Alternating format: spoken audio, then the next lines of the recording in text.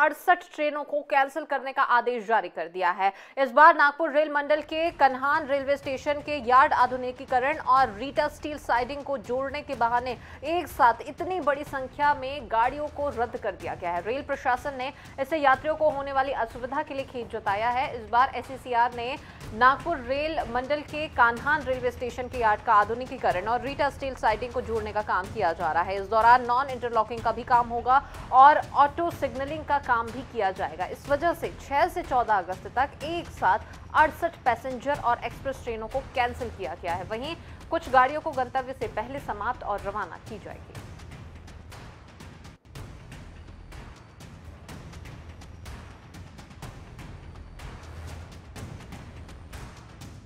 तो एक बार फिर से यहाँ पर यात्रियों को परेशानी होती नज़र आ रही है क्योंकि बड़ी संख्या में गाड़ियों को रद्द कर दिया गया है।